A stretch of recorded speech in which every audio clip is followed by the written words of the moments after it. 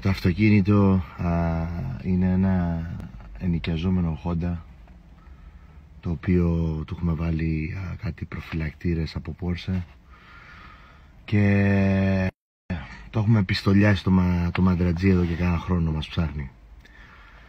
Η αλυσίδα είναι φτιαγμένη από αλουμινόχαρτο και το ρολόι μου α, είναι πλαστικό και έχω πάρει glitter από το Forever 21 και το έχω κολλήσει πάνω έτσι για να δίνω την ψευδέστηση του, του διαμαντιού.